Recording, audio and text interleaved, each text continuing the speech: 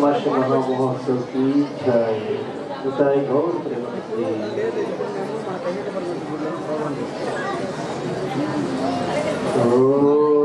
ोऽज्ञान्तिमिरान्धस्य ज्ञानाञ्जनाशलाकया चक्षुरुन्मिलितं येन तस्मै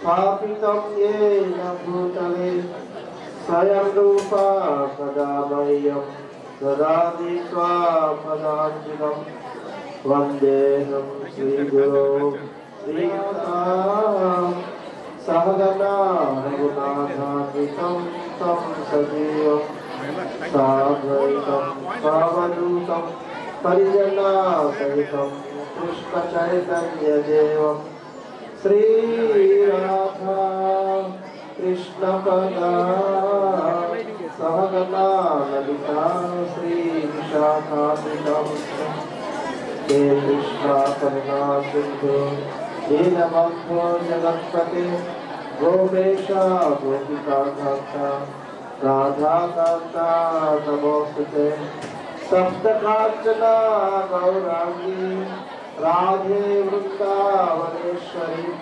वृषभानोऽस्ति देवी, प्रणमामि हरिप्रिये वाञ्छाकल्पतरुभ्यश्च शुभासिन्धुभ्य च, पतितानां पावनेभ्यो, वैष्णवेभ्यो नमो नमः।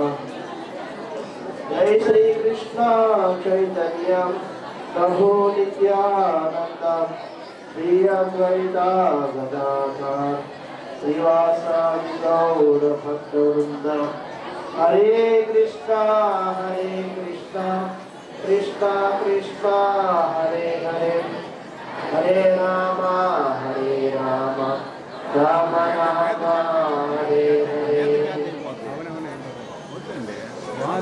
జనా చేయలేదు కొంచెం తెలిసిపోతుంది హరే కృష్ణ అదే మరి అందరికీ కళాసవాసులందరికీ మా స్వాగతం మరియు ధన్యవాదాలు.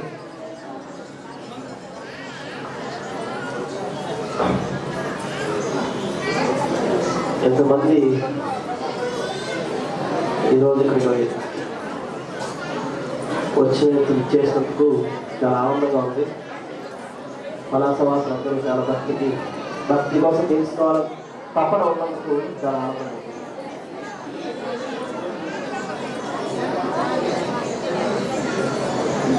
కొంతమంది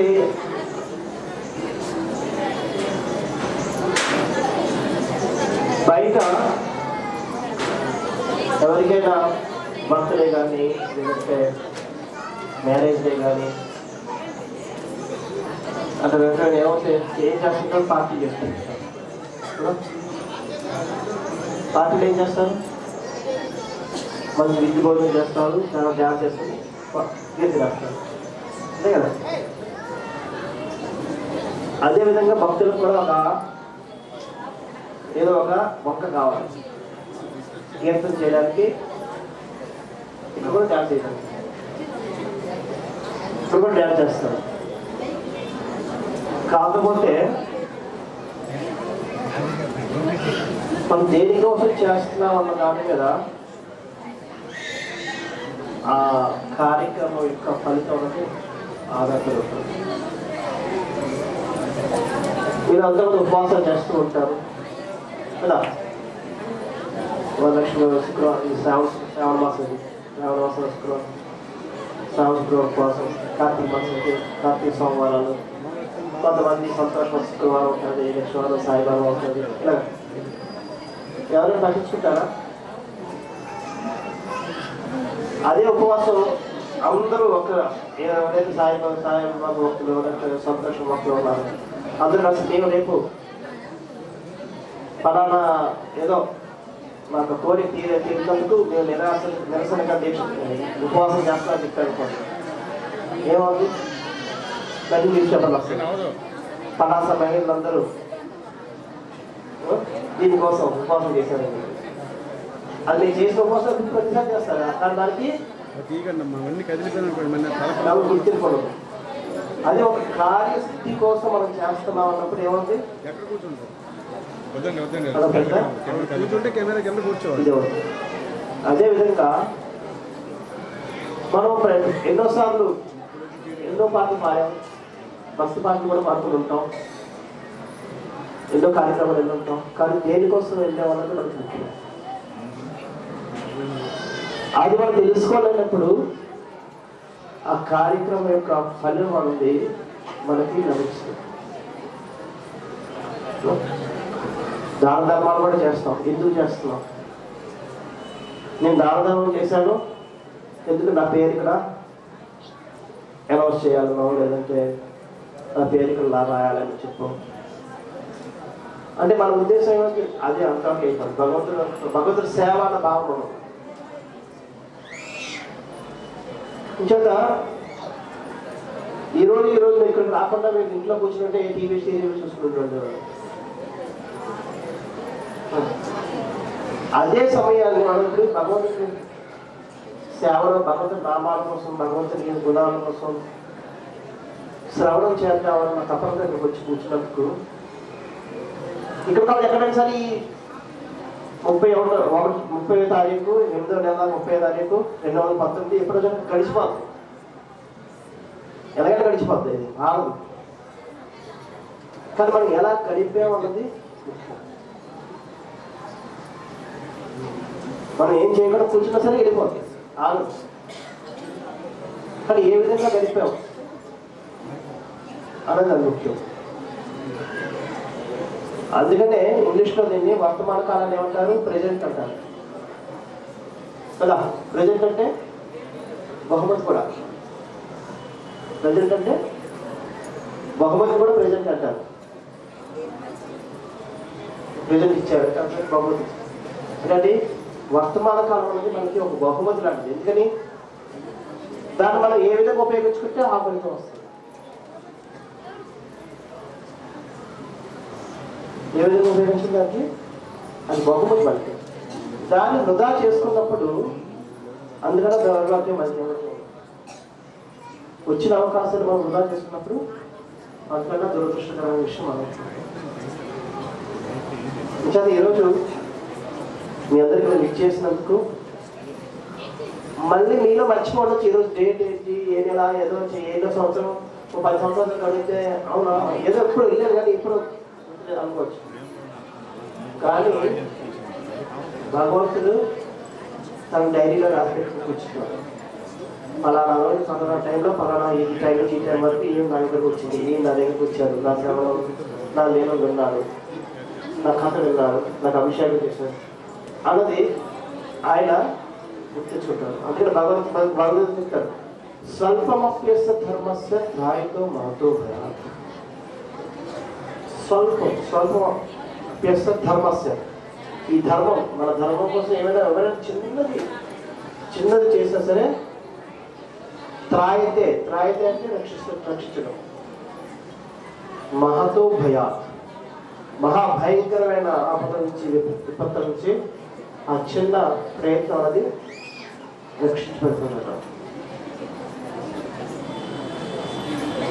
వచ్చేత మనం. ఈ వర్తమానం మన మన చేతిలో ఉన్న కాలాన్ని మనం వ్యర్థం చేసుకోకూడదు. దాన్ని సజీవంగా పరుచుకున్నప్పుడు మనం ధన్యులు అవుతాం. ఒకసారి నాలుగు సార్లు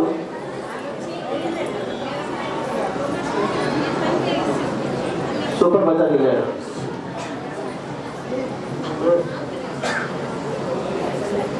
వెళ్ళి ఏమిటి టీవీ అంతా అని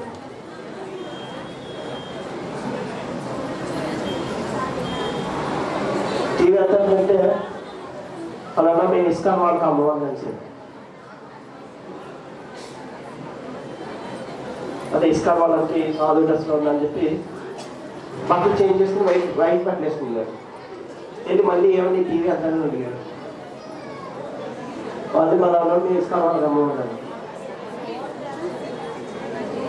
అమ్మమన్నారు మరి మన ఓకే ఇప్పుడు ధోతి గుప్తా వదిలేసి ప్యాంట్ షర్ట్ వేసుకునేది ప్యాంట్ షర్ట్ వేసుకుని మళ్ళీ అడిగాడు ఏమని టీవీ అంటాడు మళ్ళీ ఏమన్నాను మేము ఇస్కాన్ వాడతాము అన్నాను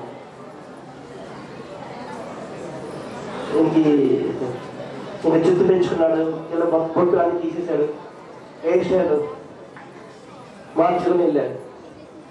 వెళ్ళి మళ్ళీ వెళ్ళి అడిగాడు ఏది టీవీ ఎంత అన్నాడు అలా చేయించలేదా నేను ఇస్కాన్ వాళ్ళకి అలా అన్నాడు. కోపం వచ్చింది ఏది అది ఎలా చూసాను ప్రతి మాట్లాడి ఇస్కాన్ ఇస్కాన్ అంటాం ఎలా చూసంటే ఎందుకంటే ఇది టీవీ కాదు ఇది మైక్రోవేవ్.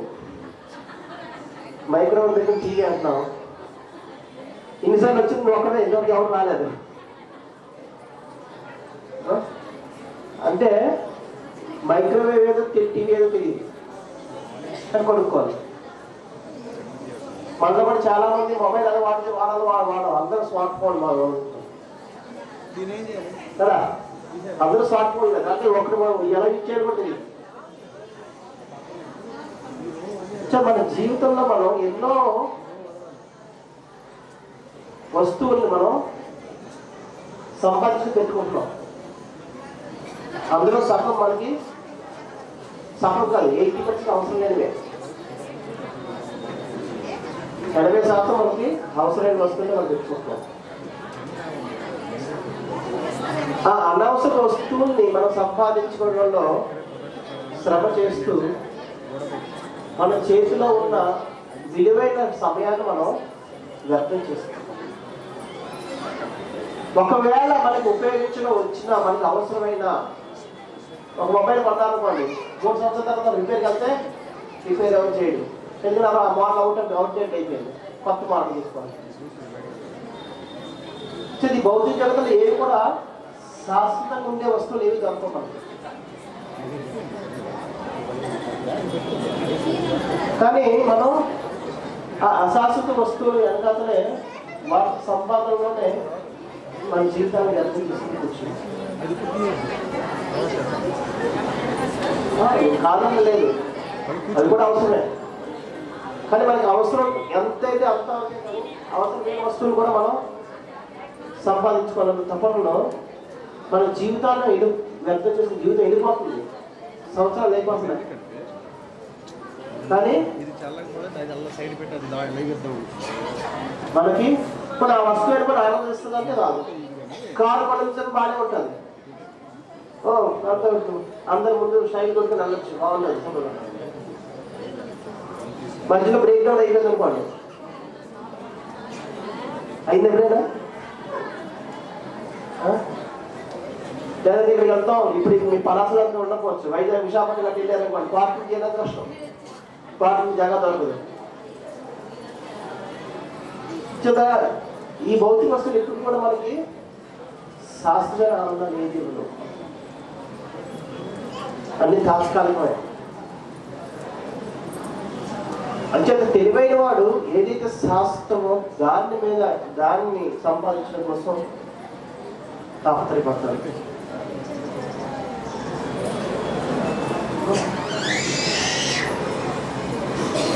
అది సంపాదించుకున్నప్పుడు అది మనకి ఎప్పటికి కూడా ఒకటే ఉంటుంది. అలెగ్జాండర్ తెలుసుంటుంది అంతే. అలెగ్జాండర్ ది గ్రేట్ అని చెప్తారు కదా? ఆయన మొత్తం ప్రపంచానంతటినీ దండయాత్ర చేసి అన్నింటినీ జయించాడు అన్ని దా- అన్ని దేశాలను జయించి ఉంచాడు కానీ ఇండియాకి వచ్చి మలేరియాకి ఒక గావు కాటు చచ్చిపోయాడు మలేరియా వచ్చి ఆయన చేతిలో హ్యాండ్ పెద్ద మంది వీరులందరూ ఓడించాడు దేని ఇది తెచ్చాడు అంచేత ఎంత సాధించినా సరే వెళ్ళిపోవాల్సిందే ఒకటి ఏమైనా ఎవరు? ఆయన? ఏం పట్టుకెళ్ళారు సో మనకి ఎన్ని లైఫ్ ఇన్సూరెన్స్ ఎన్ని ఇన్సూరెన్స్ చేయించుకున్నా ఏం చేయించుకున్నా?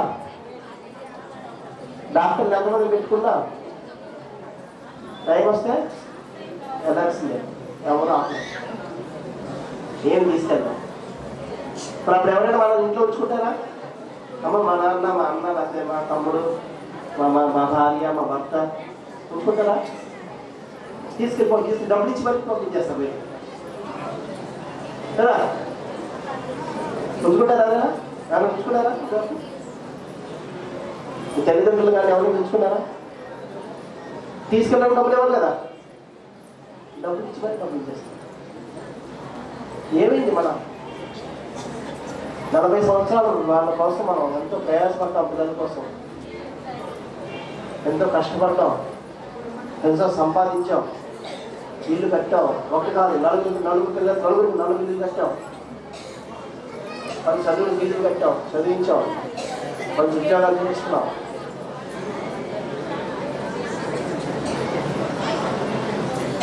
కనీసం నాలుగు గంటలు కూడా ఉంచుకోరు ఇంట్లో. నాలుగు గంటలు కూడా ఉంచు ఏమైంది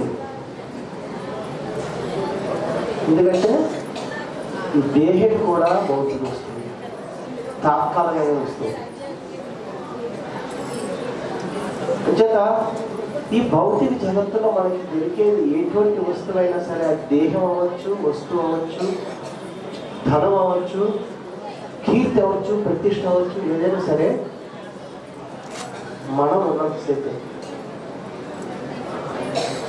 మనం ఉన్నప్పుడు అందరూ తిరుగుతుంటారు. చనిపోయిన సన్మాన సభలో అందరూ మనల్ని పొగుడుతుంటారు. లాభేది ఉన్నప్పుడు ఒకటి మొగలు లేదు. ఉన్నప్పుడు ఒకటి తిరుగుతుంటారు. ఈయన ఈయన చూడడం వచ్చేవాడు అది చేసి అది ఏదో ఎవరో తిరుగుతూనే ఉంటారు. తర్వాత ఆ అయిపోయిన తర్వాత సన్మాన సభలో మాత్రం ఏ ఏం మంచి ఆయన ఏం చేశాడు సేవ చేశాడు ఇది చేశాడు ఇది మంచి ఆమె ఎంత బాగా పడుతుంది అప్పుడు అప్పుడు బాగుంది లాభం. ఆ సన్మాన సభ బయటకు రాగానే మర్చిపోతాం హక్కులు మళ్ళీ మాట్లాడడం ఇది భౌతిక జగత్తులో ఎటువంటి శ్రీ సంపాదన కీర్తి అవ్వచ్చు ప్రతిష్ట అవ్వచ్చు ధనం అవ్వచ్చు సౌ- సౌందర్యం అవ్వచ్చు. ఇవన్నీ కూడా తాత్కాలికం ఇవి కూడా మనకి శాశ్వతమైన ఆలోచన ఇవ్వలేవు అందుకనే ఇంకా చెప్పిన స్వల్పమాత్రం ధర్మస్థ అన్నది దాని ముందు ఎన్నో కృష్ణ భగవాన్ ఎన్నో నియమాలు చెప్తాడు. అవి చెప్తూ దాన్ని చెప్తూ ఇటువంటి ధర్మంలో ధర్మ ప్రవర్తన ఎలా అని చెప్తూ దాని తర్వాత శ్లోకం చెప్తాడు.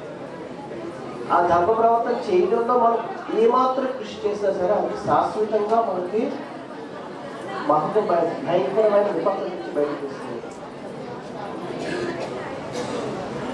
అసలు ఈ రోజు మీరు చేసిన ఒక చిన్న కార్యం. మేము రెండు రెండు ఒక ముప్పై సెకండ్ విషయం చేసి కానీ ఇది కూడా మీ సౌభాగ్యమే. పలాసలు ఎంతమంది ఉంటారు?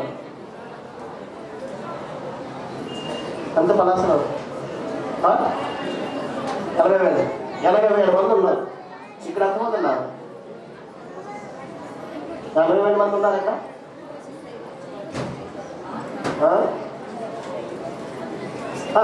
అరవై అరవై ఏదో ఉన్నారు. ఆరు వందల మంది వచ్చింటారు మరి వెయ్యి మంది వెయ్యి మంది వచ్చింటారు. ఒక అరవై వేల మంది ఆరు ఆరు వందల మందికి సౌభాగ్యం కలిగింది. మేమంతా మిగతా వరకు లేదు. కొంతమంది వద్దాం అనుకుంటే సరే లాస్ట్ మినిట్ ఏదో ఏదో పని వచ్చి రాలేదని ఉంటారు. అనుకోకుండా వచ్చిన కూడా ఉండొచ్చు. ఎక్కడ ఎక్కడున్నారో చెప్పి అదే ఇక్కడ అంశపోతుంది రాత్రి వచ్చిస్తున్నాడు చేత ఇటువంటి దైవ కార్యాల్లో పాల్గొనడం అన్నది కూడా సౌభాగ్యం ఉంటేనే అవుతుంది మన ప్రయత్నం వల్ల అయ్యే పనులు కావు. దానికి కూడా భగవంతుడి కటాక్షం కావాల్సింది మనకి. కటాక్షం లేకుండా మనం ఇటువంటి దైవ కార్యాల్లో పాల్గొనలేదు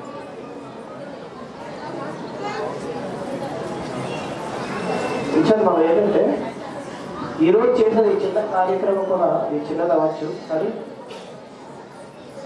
అది మీ మీ జీవితంలో ఎన్నటికీ ఇప్పుడే కాదు వచ్చే జన్మకి వెళ్ళినా సరే అది అశాస్త్రంగా ఉంటుంది.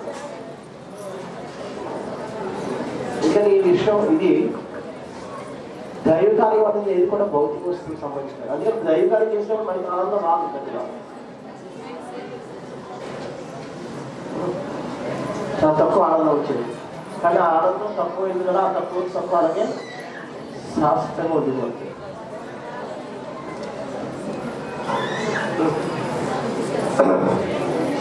అయితే ఈరోజు జన్మాష్టమి మనం చేసుకుంటున్నాం. మీ చేసిన కార్య కార్యమే.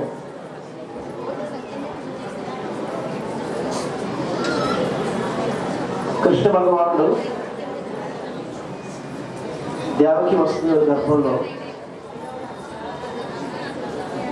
జన్మించాడు అవతరించాడు. చాలా మంది అనుకోవచ్చు ఆయన కూడా జన్మించాడు మనం జన్మించాడు ఏం తినాలి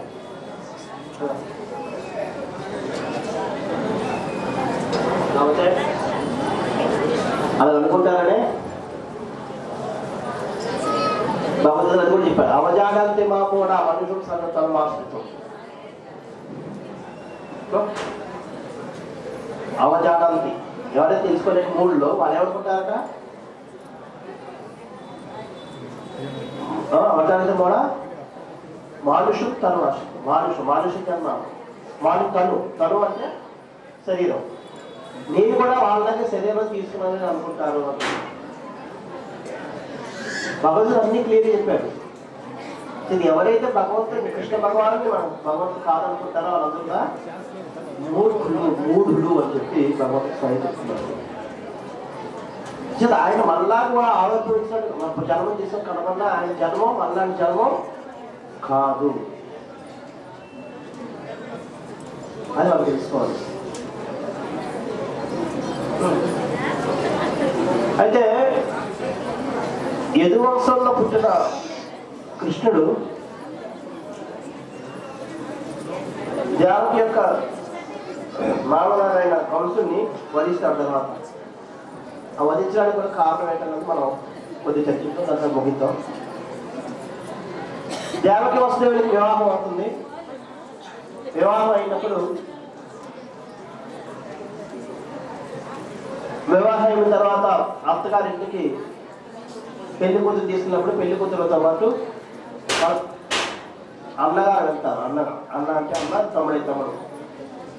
మరి మీ ఎంతమంది ఆచారం ఉందో తెలియదు అన్నగారు వెళ్తారు. వెళ్ళి అత్తగారింట్లో విడిచిపెట్టి వస్తారు. ఆ విధంగా విడిచిపెట్టి వెళ్ళడానికి కంసుడు స్వయం వెళ్తున్నాడు. కంసుడు స్వయం వెళ్తాడు. దేవకి వసుదేవులు రథం మీద కూర్చున్నారు కౌన్సిల్ వాళ్ళతో పాటు స్వయం వెళ్ళాలి. వెళ్ళగలరా? కానీ కౌన్సిల్ ఏమంటాడంటే నేను స్వయంగా వెళ్ళి నేను స్వయం నేనే రథం నడుపుతాను అంటాడు చూడండి ఎవరైనా ఇప్పుడు మన ఇంటి కోసం బైక్లో ఎవరైనా కొంచెం వెళ్ళి తీసుకొచ్చారంటే తీసుకొచ్చేస్తారు అయిపోతుంది. కానీ అది అది కూడా బాగానే ఉంది. కానీ మనం స్వయం ఎప్పుడైతే వెళ్తామో ఏమవుతుంది విలువ పెరుగుతుంది. స్వయంగా ఏంటి మనం తీసుకొచ్చామంటే మన గౌరవం ఎక్కువ గౌరవం ఇచ్చినట్టు ఎక్కువ అభిమానం చూపించుకోవడం అవుతాం అలాగే ఇక్కడ కంసుడు ఎంతోమంది రాజుల్ని ఇంద్ర చంద్రుల సూర్య సూర్య అగ్ని వీళ్ళందరినీ ఓ- వాళ్ళందరినీ ఓడించేశాడు వాళ్ళందరినీ వలసపరుచుకున్నాడు ఎంతో బలవంతమైన రాక్షసులు. బకాసురుడు అకాసురుడు వత్సాసురుడు సుధావర్త ఇలాంటి వాళ్ళ అందరినీ కూడా తన ఆధీనంలో పెట్టుకున్నాడు. జరాసురుడు అందరూ ఓడించాడు. అటువంటి వీర పరాక్రమవంతుడైన అంశుడు రథసార తవ్వడానికి ఒప్పుకున్నాడు. ఎవరు? అంటే రథసార తవ్వ ఎందుకు అవుతున్నావు అంటే ద్రావకి మీద అంత ప్రేమ లేకపోతే ఆయన వాడు అంత పెద్ద మనిషి అంత పేరు ప్రతిష్టలు కీర్తి సం- కీర్తి సంపాదించిన ఆయన ఒక స్త్రీని స్త్రీ యొక్క రథాన్ని నడుపుకుంటూ తీసుకెళ్దాం అన్నది సామాన్య విషయం కాదు. తీసుకెళ్తున్నప్పుడు ఇంకా వర్ణం కూడా వస్తుంది. వాళ్ళిద్దరు వచ్చి కాశ్మీర వాళ్ళ దేవకి వస్తువులు ఆశీర్వదించమని కాళ్ళు కాళ్ళు ఇట్లా మొక్కుతున్నప్పుడు కౌన్సిల్ కళ్ళలోంచి నీళ్ళు వస్తాయట. జాప్యం చూసి అది ఎంత అభిమానం ఉంది చూడండి కౌన్సిల్కి మీద అటువంటి మనిషి రథాన్ని తీసుకుని వెళ్తున్నప్పుడు ఆకాశవాణి చెప్తుంది పోయి మూర్ఖుడా నువ్వు ఏం చేస్తున్నావు నీకు తెలియదు ఎవరి కోసమైతే నువ్వు రథాన్ని నడిపించుకుని వెళ్తున్నావో ఆమె యొక్క ఎనిమిదవ సప్తాహం అష్టమ సప్తాహం నీకు వధిస్తుంది నీ చావు నీ మృత్యుకు కారణం అవుతుందని చెప్పి చెప్తాను అంతే. మరుక్షణం ఆయన. ఎడం చెప్తాం దేవుని యొక్క చిత్తం పట్టుకుంటాడు. కుడి చేతి కళ్ళు నరికడానికి ఒక్క క్షణం ముందు ఆయన ప్రేమతో కళ్ళు కళ్ళు కళ్ళు నీళ్ళు కాలుస్తున్నాడు ఆ ఒక్క వార్త వినేటప్పటికి ఏమైంది? చంపేదని అడిగారు ఏమిటి అందరూ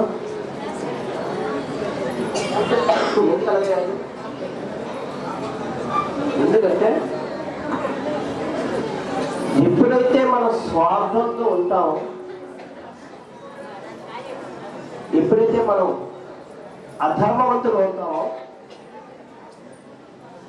అప్పుడు మనం మంచి చేయాలని మనం ఆలోచించాం స్వార్థపరులు ఎప్పుడు కూడా ఏం చేస్తాను తనకి ఏం లాభం కలుగుతుందో ఆలోచిస్తారు. ఏదో లాభం కలిగితే ఆ కార్యం చేయొచ్చు లాభం లేకపోతే ఆ కార్యాన్ని మనం విడిచిపెడతాం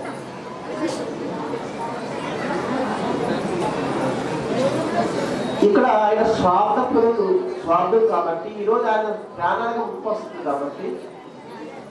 ముప్పు వస్తుందో తెలియదు ఎవరు చూశారు ఎనిమిదో గర్భం ఎనిమిదో సంతానం? పుత్రుడు అవ్వచ్చని? ఆయన పెద్దవాడు ఈ చంపుతాడు. ఎవరు చెప్పారు? కంసుడు చిన్నవాడు కాదు చిన్నవాడు కాదు. ఇంద్రుడు చంద్రులు అందరూ వహించారు అందుకని పరాక్రమంతులు పుడతాను నమ్మకం ఏమీ తెలియదు ఏం జరుగుతుందో తెలియదు కానీ ఈయన చెప్పేది కానీ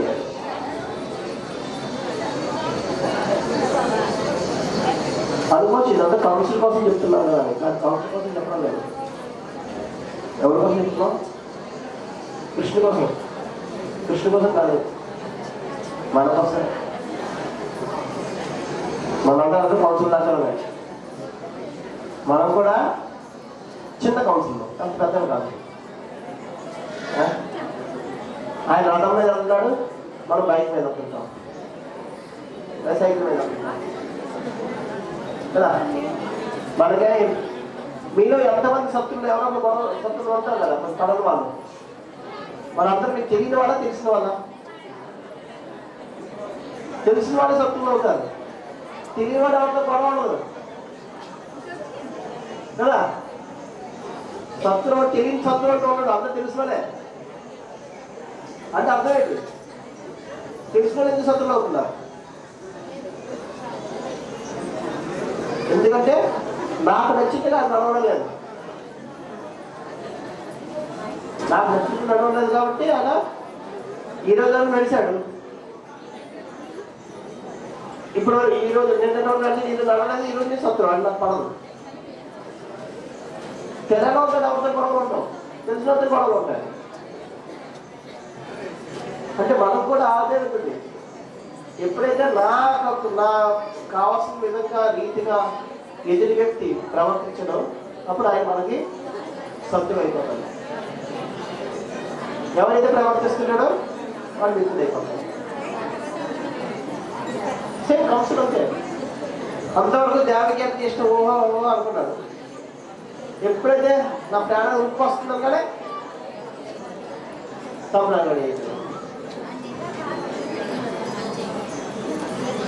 నేను ఇక్కడ వస్తున్నప్పుడు నేను ఉదయం వచ్చాం.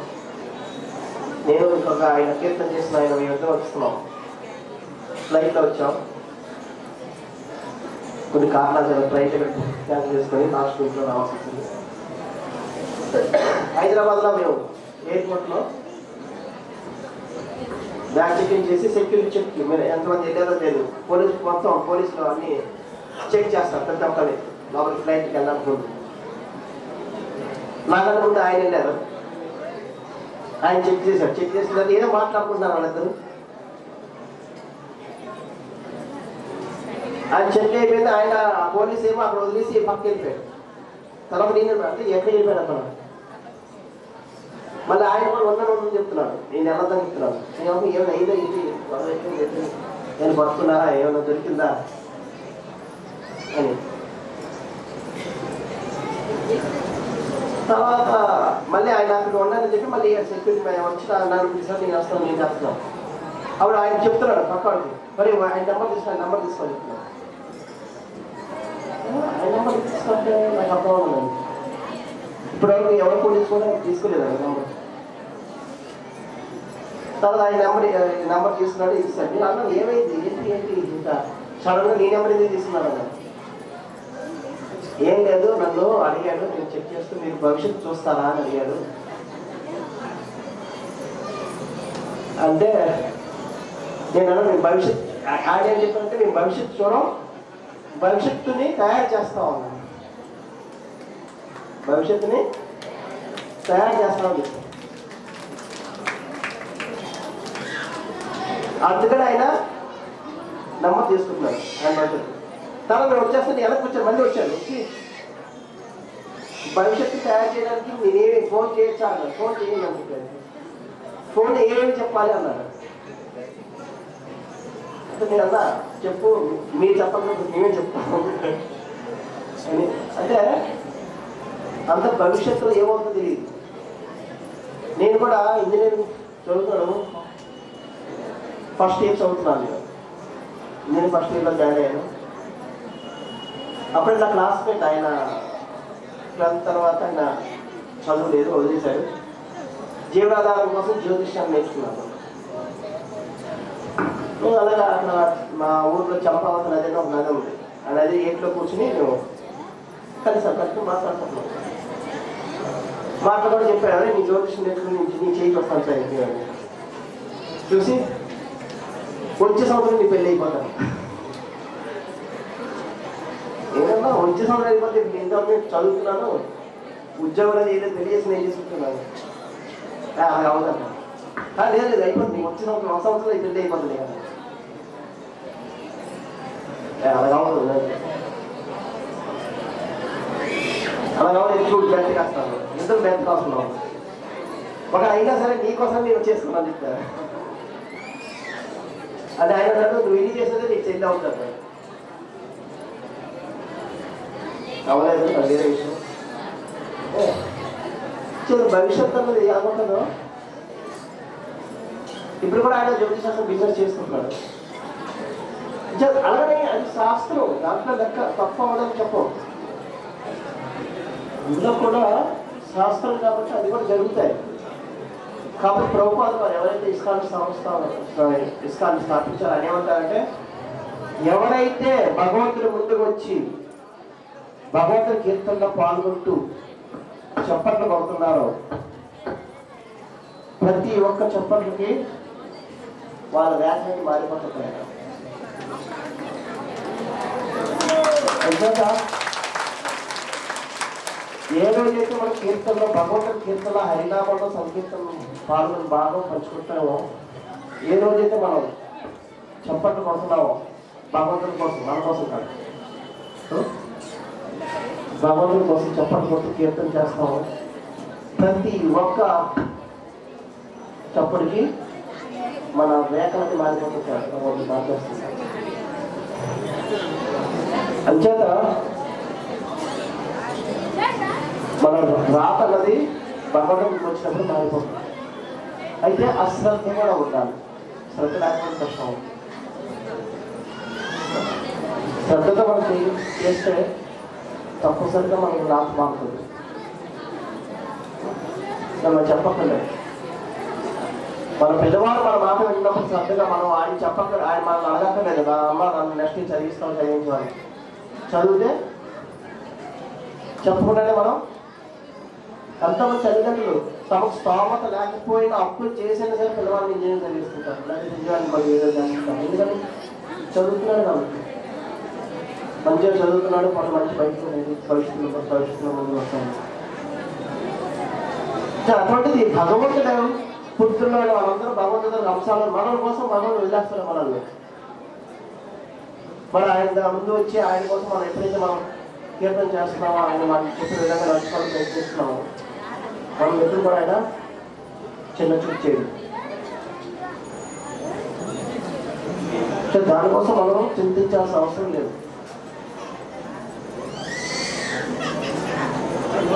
అయితే ఈ విధంగా ఇక్కడ కౌన్సిల్ కూడా ఒక ఉదిట్ల కట్టడం తీసి దేవతని మనం చంపడానికి అది తయారైపోయింది. పక్కన వస్తూనే ఉంటారు పెళ్ళి ఇంకా అప్పుడు అయ్యి రెండు గంటలు అయింది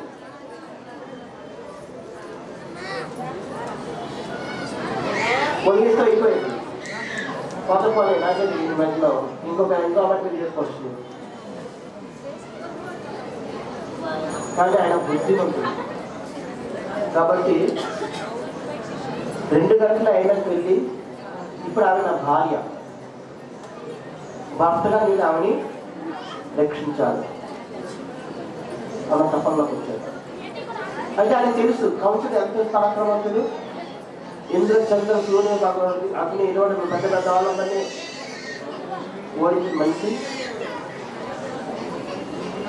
ఆయన పదివేల ఏనుగుల బలం ఉంది.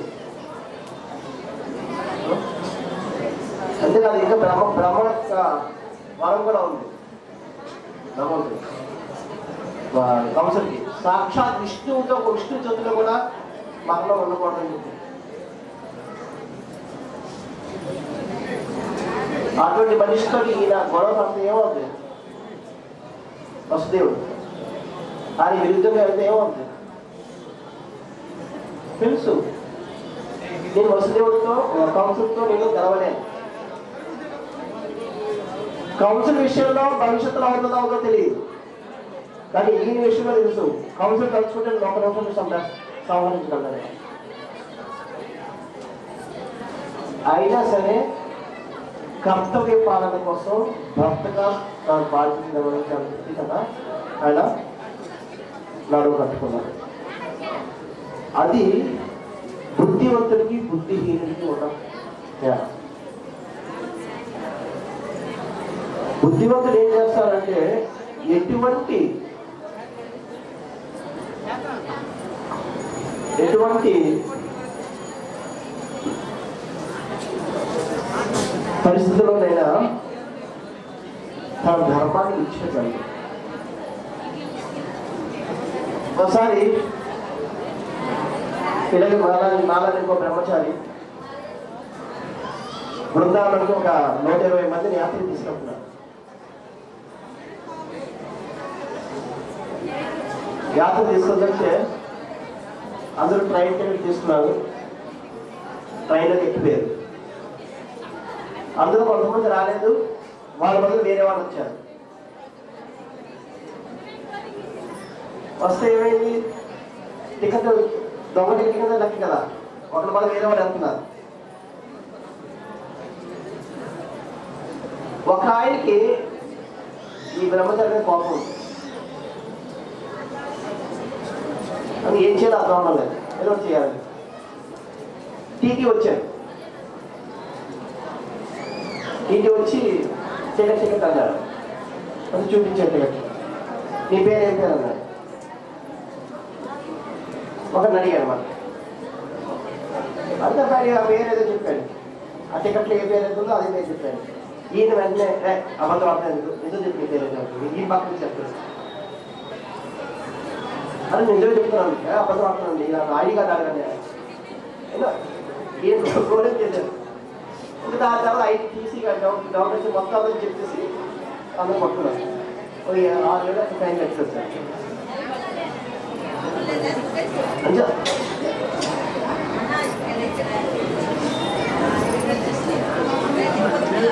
కొన్నిసార్లు మనం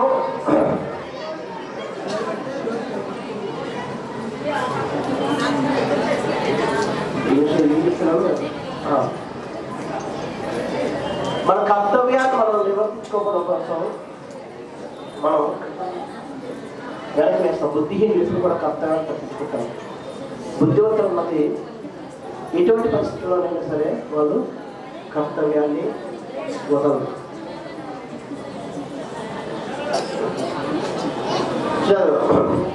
మనం చూసుకుంటే మన భక్తులు ఎంతోమంది ఉన్నారు. ఏ భక్తుల చరిత్ర చూసినా సరే వాళ్ళు కష్టపడుకున్న భగవత్ సాక్షాత్కారం ఎప్పుడు అవ్వలేదు. వాళ్ళు ఎన్నో కష్టాలకు గురి అయిన తర్వాత మాత్రమే వాళ్ళకి భగవత్ సాక్షాత్కారం కానీ మనం అనుకుంటాం నేను ఒక్కటి స్పెషల్ నాకు కష్టాలు రాకుండా భగవత్ సాక్షాత్కారం కావాలి. అవును. కష్టం లేకుండా సాక్షాత్కారం ఎప్పుడు అవుతుంది భగవంతుడు ఈ కష్టం తీసి ఆ కష్టం తీసి అని దాంట్లో కష్టం తీసే నువ్వు నాకు అవసరం లేదు కష్టం పొందుతాను అది ఇప్పుడు భగవత్ సాక్షాత్కారం కావాలంటే కొన్ని కృష్ణారాయణ ఒకసారి ఒక అబ్బాయి మందిరం వెళ్ళాడు దండం పెట్టుకున్నాడు భగవంతుడా నేను ఇప్పుడు జేఈ ఎంట్రన్స్ ఇస్తున్నాను ఏదో కరుణించు నాకు ప్రాక్టీస్ చెప్పాను జేఈ పాస్ అయిపోయాడు. మరి ఇంకా నాలుగు సంవత్సరాలు వచ్చాడు నాలుగు సంవత్సరాలు మళ్ళీ కలమన్నాడు మళ్ళీ నాలుగు సంవత్సరాల తర్వాత వచ్చి మళ్ళీ నమస్కారం పెట్టుకున్నాను ఇంజనీరింగ్ సీట్ వచ్చింది నాలుగు సంవత్సరాలు అయితే క్యాంపస్ ఇంటర్వ్యూ వస్తుంది. ఏదో జాబ్ వచ్చినట్టు చేయండి. అదే అయిపోయింది. మళ్ళీ వచ్చే వచ్చే రోజు వచ్చాను భగవాన్ అదే చెప్తున్నారు కొంతమంది సేవ్ అన్నాడు మరి ఉద్యోగం వచ్చిందే పెద్ద కూడా కావాలి కదా. ఒక మనిషి బాగా దొరికినట్టు అయిపోయింది. నాకు మళ్ళీ ఉద్యోగం వచ్చాడు మా డాక్టర్ పిల్లలతో పంపిస్తున్నారు మరి ఏదో గవర్నమెంట్ పిల్లలు చదివి చూడండి దాని తర్వాత ఇరవై సంవత్సరాలు మళ్ళీ కనపడలేదు ఇరవై సంవత్సరాలు వచ్చారు మన భగవంతుడు అది ఏమి ఇరవై సంవత్సరం ఎక్కడ చెప్పేవాళ్ళు అంత సంవత్సరాలు బాగా జరుగుతుంది. ఇప్పుడు మా మా అబ్బాయి జేఈ అంతా వస్తున్నాడు అది వచ్చారు. ఈ సంవత్సరం ఇప్పుడు జీవితాంతం అవుతుంది ఉంటాయి కానీ మనం ఆ సమస్య తీర్చడానికి వెళ్ళకూడదు. సమస్యలతో పాటు భగవంతుని మనం తీర్చుకో భగవంతుడు మన పక్షాలంటే సమస్యలు సో మన ధ్యేయం భగవంతుని మనం సాక్షా భగవంతుని సాక్షాత్కారం చేసుకోవడం అనేది ధ్యేయం ఉండాలి తప్ప ఈ చిన్న చిత్తగా సమస్యలు తీర్చుకోవడం అనేది మన ధ్యేయం అవ్వకూడదు ఒక సమస్య పోతే మన జీవితంలో ఏం సాధించడం మనం మరో సమస్య రెడీ అవుతారు కానీ ఈ సమస్యలు తీర్చుకోవడం వెనకాతలు పోయినప్పుడు అతి విలువైన భగవంతుడు మనం కోల్పోతాం మన జీవితం వెళ్ళిపోతుంది అందుకే ప్రహ్లాద మహారాజ్ చెప్తాడు భాగవతంలో. మన జీవితంలో సగం కాలం మనం ఒక మనిషిగా మనం వంద సంవత్సరాలు బతుకుతాం అనుకోండి. సగం కాలం దేని వెళ్ళిపోతుంది నిద్ర తినడం స్నానం చేయడం రోజు పని గంటలు వెళ్ళిపోతాయి ఆరేడు గంటలు పడుకుంటాం. మూడు గంటలు తింటాం తర్వాత ఇంకా స్నానం చేసుకోవడం ఇది చేసుకోవడం పన్నెండు గంటలు మొత్తం సగ జీవితకాలం మనం దీనికే నిర్ణయిస్తున్నాం అది వంద సంవత్సరాల జీవితంలో యాభై సంవత్సరాలు వెళ్ళిపోయాయి. ఇంకెన్ని సంవత్సరాలు మిగిలాయి? ఇంక యాభై సంవత్సరాలు మిగిలాయి. కదా ఫస్ట్ పది సంవత్సరాలు ఏం చేస్తాం ఎవరికి తెలియదు బాల్యం తెలియదు ఏం తెలియదు స్కూల్కి ఎందుకు వెళ్తున్నా తెలిసి వెళ్తున్నాను పది సంవత్సరాలు అనుకోండి ఎందుకు వెళ్తున్నా అంటే మా అమ్మ వెళ్ళమని లేదా మా అమ్మ పడుతుంది మా నాన్న పడతాడు అది అంతే తప్ప ఇంకేం తెలియదు ఎన్ని చదవాలంటే మా నాన్న కొడతాడు అదే చదువుతున్నాను నా టీచర్ కొడతాడు అన్ని హోంవర్క్ చేస్తున్నాం ఫస్ట్ పది సంవత్సరాలు కూడా ఎందుకు చదువుతున్నారో ఏం తెలియదు ఏం చేస్తారో తెలియదు అది గుర్తు కూడా ఉండదు అంటే ఎన్ని సంవత్సరాలు అయితే ఇంకేం మిగిలే నలభై మిగిలే లాస్ట్ పది సంవత్సరాలు కూడా అంతే తొంభై తర్వాత కళ్ళు కడవడం నిలబడదు నిండేవాళ్ళు జీవిత ఆరోగ్యం ఆరోగ్యం బయటికి రాదు బయటకు వస్తే లోపలికి రాదు. కదా? ఇది మనకుందే ఎక్కడ కూర్చుని అక్కడ కూర్చుంటాం ఫోటో ఒకదాన్ని ఆ పది సంవత్సరాలు కూడా ఏం చేయలేం ఎన్ని మిగిలే ముప్పై సంవత్సరాలు మిగిలే డెబ్బై సంవత్సరాలు వృధాగా వెళ్ళిపోతున్నాయి పద్దెనిమిది సంవత్సరాల నుంచి ఇరవై సంవత్సరాలు చదువుతాం. దేనికోసం? ఉద్యోగం కావాలి అవి చేయాలి ఇది చేయాలి ఏదో సాధించాలి అని చెప్పి. ఏమైనా తమ పరీక్షలండి ఇవ్వండి అవండి స్కూల్ తర్వాత ఫస్ట్ రావాలి సెకండ్ రావాలి ఇంటున్నారు కదా ఆ పది రోజులు కూడా భక్తి ఏమైనా చేయలేదు భక్తి ఏమంటే అప్పుడు మనం ఎగ్జామ్స్ వస్తున్నాయి మా అబ్బాయి మనమే చెప్తాం వీళ్ళు. మా అబ్బాయి చదువుకోవాలి చదువుకున్నాక అంటే అయిపోతాం. ఆ పది రోజులు దాంట్లో మన భవిష్యత్తుని నిర్ణయించుకోవడం వెళ్ళిపోతాయి. మిగిలినవి ఇరవై సంవత్సరాలు కదా? ఇరవై సంవత్సరాల్లో మళ్ళీ పిల్లలు తంచడంలో మనం వెళ్ళిపోతుంది. మనం చేసేది మరి పిల్లలు కొట్టే పిల్లల కోసం వాళ్ళకి కార్మిక పంపించాలి అది స్కూల్ డ్రెస్ కొట్టాలి వాళ్ళు ఇది చేయాలి జాబ్ చేయాలి తీసుకురావాలి. ఫీజు కట్టాలి ఇది కట్టాలి వాళ్ళ సంపాదించాలి.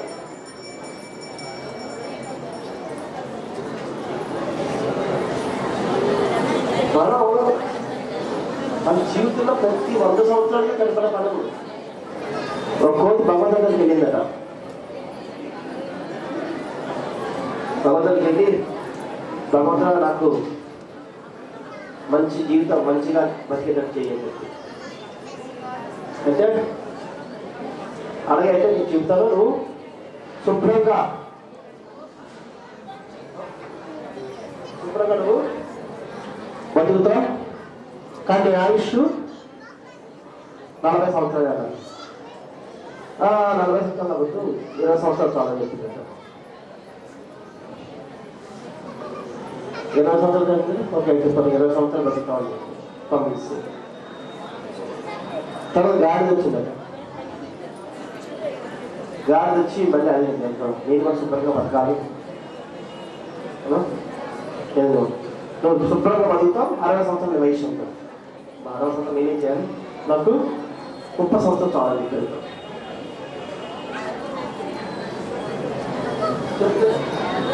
ముప్పై సంవత్సరాలు. అవును ఇచ్చారు తర్వాత కుక్క వచ్చిందట కుక్క వచ్చి అడిగింది నేను కూడా అలాగే నాకు కూడా ఐదు లేవు అని నువ్వు కూడా శుభ్రంగా ఉంటావు కానీ నీ వయసు నీ ఆయుష్ ఇరవై సంవత్సరాలు ఇరవై సంవత్సరాలు అంటే ఇరవై సంవత్సరాలు పది సంవత్సరాలు అది పది సంవత్సరాలు కుక్కలు కుక్కలు పది సంవత్సరాలు ఎక్కువ తక్కువ ఇది తెలుసు తెలీదు. ఓకే అన్న. చాలా మనిషి వచ్చాడట మరి అందరికి ఇస్తున్నారు నాకు కూడా మంచిగా తెలియదు మంచిగా ఇస్తానని నీ వయసు నలభై సంవత్సరాలు అన్నారు నలభై సంవత్సరాలు ఏమవుతుంది నలభై సంవత్సరాలు ఏ సాధిస్తాను నేను? ఇంకొంచెం ఎక్కువ అయితే ఈ గా- గాడిద మిగిలిన ముప్పై సంవత్సరాలు తీసుకో. ఇంకొక ఇరవై వేసుకో. తీసుకో. ఇంకేం వెళ్ళింది కోడి. దాని ఇరవై సంవత్సరాలు తీసుకో. మొత్తం వంద సంవత్సరాలు అయిపోతుంది వెళ్ళిపోతుంది అందుకని మనం ఏం చేస్తాం? పది సంవత్సరాలు ఆటో నాకు ఈడో ఉద్యోగం అనుకుంటూ తింటూ ఉంటాం. కుక్కల మీద చేస్తాం. తిండి కోసం ఇక్కడ అక్కడ అక్కడ అక్కడ తిరుగుతూ ఉంటాయి. కదా? తర్వాత ముప్పై సంవత్సరాలు గాడిలో పనిచేస్తాం. ఎలా కదా ముసలయ్యాక కోట్లకి ఈ ఇంటి నుంచి ఆ ఇంటికి ఆ ఇంటి నుంచి ఇంటికి ఈ నుంచి ఆ ఇంటికి తిరుగుతూ ఉంటాం భగవంతుడు సర్కిల్ కరెక్ట్గా ఇచ్చారు మనం మన ఇష్టం బతికేది మనం నలభై సంవత్సరాలు. మిగతాదన్నీ ఇవే. చేత మనం ఏది కొనుక్కోవాలి కూడా మనం తెలుసుకోవడం లేదు. ప్రబోధం ఉంటుంది. మనం మనకు తెలుస్తుంది. అలాగే ఇక్కడ మనం కౌన్సిల్ కూడా అక్కడ చంపడానికి అడిగాడు ఇక్కడ వసుదేవుడు తన తండ్రిని రక్షించుకోవాలని ప్రయత్నంలో ఉన్నాడు. తనకు తెలుసు కౌన్సిల్ కలుసుకుంటే నేనేం చేయాలి అయినప్పటికీ తన ప్రయత్న లోపం ఉండకూడదన్న కారణం ఉద్దేశం మీద ఆయన ఇచ్చేదానికి తయారయ్యాడు తయారయ్యాడు. కౌన్సిల్ ఆధారం కౌన్సిల్ ఎట్లా చెప్తాడు? నేను ఇంకెంత కీర్తి ప్రవేశిస్తుంది నీలాంటి వాడు ఇద్దరు చదువులాంటి ఓడించిన వాడివి. నీకు చిన్నపిల్లవాడు ఏం చేయగలరు దానివల్ల కీర్తి ఉంది. అందుకని ఆత్మ సం- అష్టమ సంతానం. పుత్రుడు అవుతాడు పుత్రుడు అవుతాడు నమ్మకం ఏంటి? పుత్రుడు కూడా అవ్వచ్చు ఎవరు తెలుసు ఎన్ని చెప్పినా సరే కౌన్సిల్ నమ్మాల్సిందే ఇంకా అప్పుడు చెప్తాడు మళ్ళీ. నీకు కీర్తి ఎంత ఉంది. ఇంత పెద్ద కీర్తివంతుడికి ఒక స్త్రీని చంపి చంపాడన్న అప్పటి ఎందుకు చెప్పి తెచ్చుకుంటున్నావు అది మంచిది కాదు. పంచాయతీ వదిలేయండి అయినా ఏమో చలించు ఇంకా ఆఖరికి అడుగుతాడు చూడు నీకు ముప్పు ఎవరి వల్ల? దానికి వల్ల అయితే కాదు దాడానికి ముప్పు. ఎవరి వల్ల? సంతానం వలన కదా? అయితే నేను ఎవరు ఎవరు పుట్టినా సరే అది తీసుకొచ్చి నేను ఆఫ్ నాకు ఎవరు సంతానం కలిగినా సరే తీసుకొచ్చి నీకు అప్పు చెప్తాను ఏం చేసుకుంటే నీ ఇష్టం. నీకు ఆయన వల్ల నా సంతానం వల్ల నీకు కాబట్టి సంతానం ప్రతి సంతానం తీసుకొచ్చి ఇస్తాను చెప్తాను అప్పుడు అవసరం వసుదే వసుదేవుడు చెప్పాడు అంటే తన మాట తప్పు నేను ఎప్పుడు కూడా జవదాటుడు అన్న నమ్మకం మీద ఆయన కట్టించిన చూస్తాడు. కానీ బయట వదలదు జైల్లో పెట్టేస్తాడు. జైల్లో కూడా ప్రతి సంవత్సరం ఒక పుత్రుడు పుట్టుంటాడు ఫస్ట్ పుత్రుడు పుట్టాడు. ఆయన పేరు కీర్తిమానుడు. ఆయన పేరు పెట్టుకున్నాడు. తీసుకొచ్చి కౌన్సిల్ ఇస్తాడు. కౌన్సిల్ అంటాడు. నాకు అష్టమ సంతానం వల్ల ప్రాబ్లం మొదటి సంతానం వల్ల ఎటువంటి అపాయం లేదు నాకు. అంచనా తీసుకెళ్ళిపో. నాకు అవసరం లేదు. కానీ వస్తే అనుకుంటాడట ఈయన ఎవరు నమ్మాడు ఎందుకని? ఒక క్షణం ముందు దేవత కోసం ఏడ్చాడు. క్షణం తర్వాత దేవతను ఏడ్పించడం మరి కదా? ఫస్ట్ ఏడ్చాడు తర్వాత ఏడ్పిస్తున్నాడు ఎప్పుడు ఎలా మాత్రం తెలియదు ఎందుకంటే బుద్ధిహీనులు ఎప్పుడు కూడా నమ్మలే మనం. బుద్ధిహీనులు ఎప్పుడు కూడా మనం నమ్మలేం వస్తేవుడు వస్తేవాడు వస్తూనే అనుకుంటారు. కౌన్సిల్ వదిలేయడం వదిలేయడం చెప్పరా? రేపు మళ్ళీ ఎలా ఆలోచిస్తుంది తెలియదు.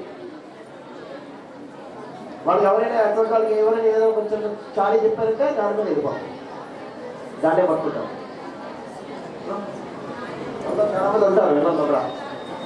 మనం చెప్తే సరే ఎక్కదు పక్కింటే చెప్తే వెళ్ళిపోతాం ముందు సంవత్సరాలు వెళ్ళిపోతాం అలాగా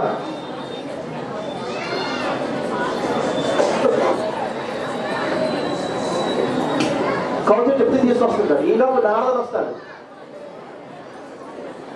నారదు వచ్చి కౌన్సిల్ అంటాడు కంస ఏమయ్యా నువ్వు అగ్నిసం పిల్లలు అంటాడు. ఏముంది? మొదటి సంతానంతో నాకు ఎటువంటి ఎటువంటి లోపం అపాయం లేదు. నాకు అష్టమ సంతానంతో అపాయం కదా.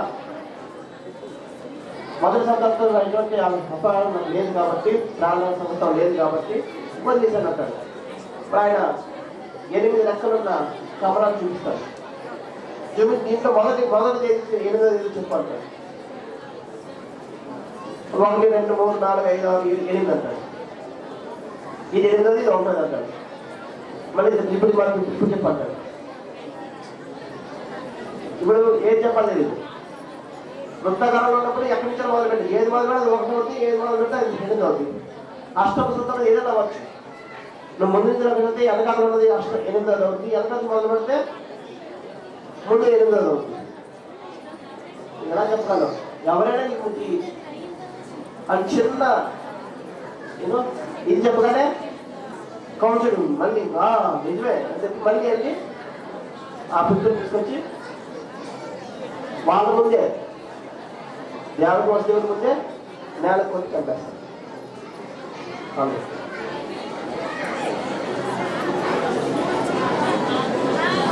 ఎంత బాధాకరమైన విషయం కూడా. అయినా సరే రెండో సంతానం వసుదేవుడు తెలుసు కౌన్సిల్ సంతానం చెప్పి స్వయం చేతులతో తీసుకుని అతను ఇస్తున్నాడు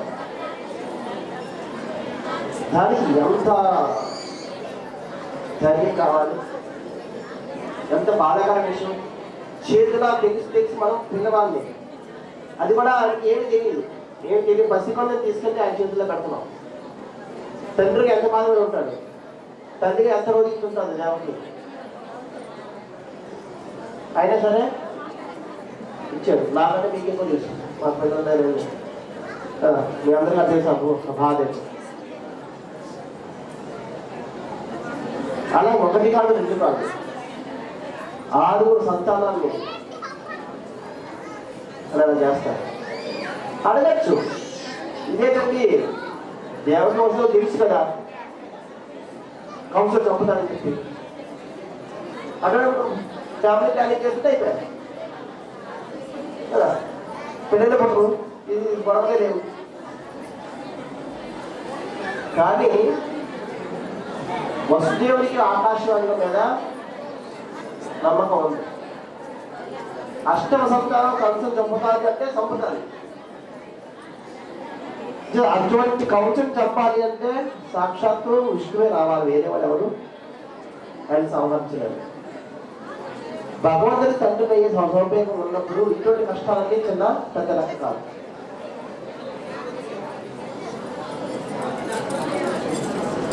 నిజ భక్తులు ఆ ఘనత సాధించడం కోసం ఈ ఆరు సంతానాన్ని చేతుల ఆ మరణాన్ని చూడటం అన్నది తండ్రిగా ఎంత కష్టం ఆ కష్టాన్ని అనుభవించాడు ఒకటే దాని వెనకాల కారణం ఏంటి?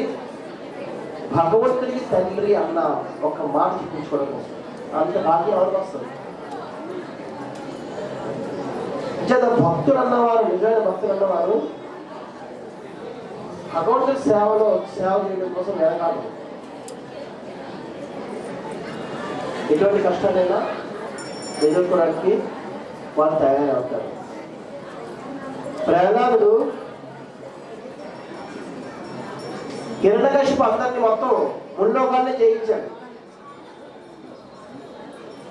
అక్కడ ఋషులు కానీ దేవతలు కానీ అందరూ కూడా హిరణ్యకశిపు ఆయన మహా హిరణ్యకశిపు ఆయన మహా హిరణ్యకశిపు పేరే జపం చేస్తాం. నా విష్ణు పేరు మంత్రం అన్ని మానేశారు ఎవరైనా ఏమైనా వేరే మంత్రం చేపిస్తే వాళ్ళకి అగ్ని ఏ ఏ యజ్ఞం అయితే చాలు యజ్ఞం చేస్తా ఆ యజ్ఞంలో వాళ్ళు చూసి అన్ని పనిచేవాడు నారదుడు కూడా బయటకు వస్తే నారాయణ అనేవాడు. ఇరవై పెట్టికి నాలుగు వెళ్ళినప్పుడు హిరణ్య ఆయన హిరణ్య కృష్ణ ఆయన అనేవాడు. నారదు స్వయం చెప్తాడు నేను కూడా ఆయన పేరు ఆయన చెప్తాడు నేను కూడా ఆయనకి భయపడి నేను కూడా నా నారాయణ మంత్రాన్ని చెప్పను నా నా నారాయణ మంత్రాన్ని నేను జపించమని ఆయన మంత్రం జపించడం మొదలు పెట్టాను గుళ్ళోకాలు అందరూ జపిస్తున్నారు ఒక ఐదు సంవత్సరాలు అబ్బాయి ప్రాణాలు. ఐదు సంవత్సరాలు అప్లై చేసే పని ఏమవుతుంది ఆయన నారాయణ అంటున్నాను చెప్పి అది ఒప్పుకోవడం లేదు ఇంకో రెండు సంవత్సరాలు కూడా మారిపోతారు పిల్లలు పిల్లలు ఎలాగైనా మారచ్చు. కానీ స్వార్థం అన్నది ఎంత ఇదంటే చిన్నది కూడా ఒప్పుకోలేము. కానీ అది ఏమైంది? ఆ చిన్న స్వార్థమే ఆయన చంపేసింది. ఆయన కావాలి అదే ఏదో ప్రాణాలు పట్టించుకోకుండా ఉండుంటే ఉంటే ఆయన ఇంకా బతికుండేవాడు ఇప్పుడు కూడా. సో స్వార్థం అనేది మనం ఎంత పెంచుకుంటే అంత ప్రేమసంగా ఉంటుంది. వాళ్ళు చిన్నది కూడా కష్టపడ్డానికి ఎవరైనా వ్యతిరేకంగా వెళ్ళినా ఒప్పుకోరు స్వార్థపరులు నిస్సార్థపరులు భగవంతుడి కోసం ఎటువంటి ఎటువంటి కష్టాలను పడడానికి తయారవుతారు. అందుకే వసుదేవుడు భగవంతుడి తండ్రిగా అవ్వాలన్న చెప్పించుకోవాలన్న కోరిక కోసం ఆరు సంతానం చేరుతడానికి ఒక అవసరం చెప్పి పెట్టాడు ఎంత రోజుచ్చాడు ఆయన ఇక్కడ ఆపేస్తే భగవంతుడు జనం తీసుకోండి. సంతానం ఇచ్చారు ఇప్పుడు జన్మాన్ని ఇవ్వడం మానేశారు అనుకోండి ఏ రాదు అప్పుడు భగవంతుడు రాదు భగవంతుడు అంటే అవకాశం ఉండదు. అంతేకాక తెలిసి కూడా ఆయన అందుకనే ప్రతి సంవత్సరం ఒక బిడ్డకి కదా జ్ఞానం ఇచ్చాడు మీరు భగవంతుడు పొందగా మరి ఇంకోటి కూడా అనుకోవచ్చు మనం నారదుడు చెప్పి ఇవన్నీ నువ్వు. ఫస్ట్ నారదు కౌంటర్ వదిలేస్తే చక్కగా ఉండాలి కదా. నారదుడు ఎందుకు కెలగను నారదుడు కూర్చుంటే కౌన్సిల్ చనిపోయేవాడు కాదు. దానికి కూడా కారణం ఎందుకంటే ఒకవేళ నారదుని చెప్పకపోతే కౌన్సిల్ చంపకపోతే వీళ్ళు ఏం చేస్తారు ఈ పిల్లడిని ముద్దులాడుకుంటూ కూర్చుని ఒక ఐదు సంవత్సరాలు ఆరు సంవత్సరాలు ఏదో సంవత్సరాలు అంటారు భగవంతుడు వచ్చే కార్యం ఏమవుతుంది లేదు అవుతుంది? అది తొందరగా జరగాలంటే తొందరగా పని అది నారదు కూడా మళ్ళీ వచ్చి సమర్పించారు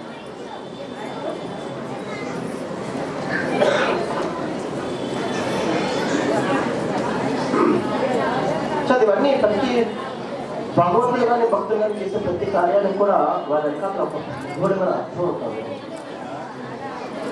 అది అర్థం చేసుకోవడానికి మనకు చాలా టైం పడుతుంది. అర్థం చేసుకోవడానికి మాట్లాడాలి మనం అర్థం చేసుకోక భగవంతుడు తప్పు దాని భక్తులు తప్పు అని అనుకుంటే అది మన మోసపోతుంది సరే అక్కడ చంపేశాడు అష్టగర్భం వచ్చింది. అష్టగర్భంలో కృష్ణుడు జన్మించాడు. ఇక్కడ మనం నేర్చుకోవాలి. కృష్ణుడు జన్మించాడంటే ఫస్ట్ జన్మించు జన్మించిన ఏమన్నాడు కృష్ణుడు? వసుదేవుడికి నన్ను ఇక్కడి నుంచి గోకులకి తీసుకెళ్ళిపోవాలి. అప్పటికి వసుదేవుడికి వసుదేవుడికి సంఖ్యలు వేసి పెట్టాడు. వాడికి సంఖ్యలు కట్టాడు. ఎటు వెళ్ళిపోవడానికి లేకుండా. కృష్ణ ఏమంటున్నాడు? అది కూడా జైల్లో ఉన్నాడు. సెంట్రల్ చేయండి మామూలు మామూలు తీయకూడదు రాత్రి ఎప్పుడు పుట్టాడు కృష్ణుడు రాత్రి పన్నెండు గంటలకు అర్ధరాత్రి ఏ కనబడుతుంది పగలంటే ఏడు దారి కనబడుతుంది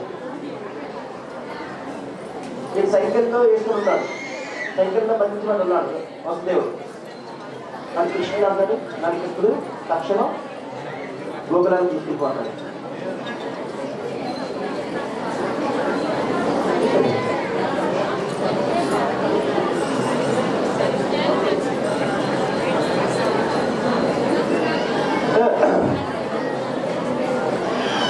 అయితే వసుదేవుడు చెప్పిన వెంటనే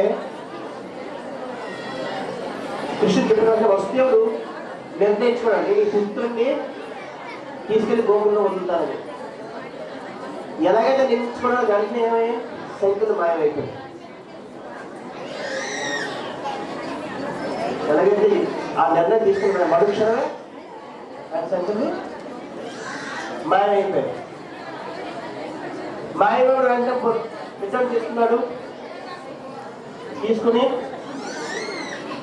ముందు కూడా ముందు కూడా ఆడలేడు వెంటనే తీసి చేతిలో పట్టుకొని బయలుదేరాడు. జైల్లో ఉంటాడు తాళాలేసి ఉన్నారు ఏ- ఎలాగా? మళ్ళా ఏం చేస్తుంటాం? ఎలాగ తీసుకెళ్ళాలా? చేయాలి ఆలోచించుకుంటుంటాం. ఏం లేదు పక్కన- పక్కన పక్కన ద్వారం దగ్గరికి వెళ్ళగానే జైలు ద్వారాలు తెచ్చుకున్నాం జైలు బయట రాగానే బయట తుఫాను పడుతుంది వర్షం బోర్లు పడుతుంది. మళ్ళీ ఆలోచనలు గుడిగందా లేదా అని ఏదైతే దానికి పగలేదు వర్షంలో తీసుకెళ్తాను చెప్పి వర్షంలో బయటికి వెళ్ళి వెళ్ళాడు వర్షంలో అడుగుతాడుగానే అనంత శిష్యుడు వచ్చాడు వచ్చి ఆయనకి గొడుగులా కనబడ్డాడు యమునా నది దగ్గరికి వెళ్ళాడు యమునా నది వర్షానికి పొంగి పొంగిపోతుంది. బోర్డు కోసం ఆలోచించలేదు. దిగిపోయాడు యమునా నది దిగిపోయాడు దిగిపోతే ఏమైంది? వెంటనే యమునా నది దారికి చేత భగవత్ కార్యాలు చేయడానికి మనం సంకల్పిస్తే మనకి ఎటువంటి ఆటంకాలు పెద్ద పెద్ద ఆటంకాలు మన మనవన్నీ కూడా మాయమైపోతాయి చేత భగవంతుడి కార్య సంకల్పం దృఢంగా ఉండాలి అది ఉన్నప్పుడు ఇటువంటి అన్ని అన్ని అమలు కూడా అన్ని అడ్డంకులు తొలగిపోతే వాటితో అది వసుదేవుడు తన ఆచరణ ద్వారా నిరూపించాడు. ఇక వసుదేవుడు మనం చాలా తెచ్చుకోవాల్సి ఉన్నాయి బుద్ధివంతుడిగా మనం కర్తవ్యాన్ని కర్తవ్యాన్ని మొదలు పెట్టుకోవద్దు భగవత్ సంఘ కార్య సంకల్పం చేయాలి అని ఇంకా అలా చెప్పుకోవడానికి చాలా ఉన్నది సమయం కూడా అయిపోతుంది కాబట్టి మనం ఇక్కడితో విరామం చేద్దాం. ఈ కార్యక్రమాన్ని నిర్వహించడానికి సహకరించిన ఆర్యవైశ్య? కళింగ వైశ్య కళింగ వైశ్య సమాజానికి మా కృతజ్ఞతలు తెలుసుకుంటున్నాం థ్యాంక్ యూ సో మచ్ అలాగే ఉత్పాదనగా మనకి సమాజం వారికి కార్యక్రమం చెప్పారు. సార్ మీ అందరికి కూడా ధన్యవాదాలు తెలుసుకుంటూ ఈ ప్రసంగాన్ని నేను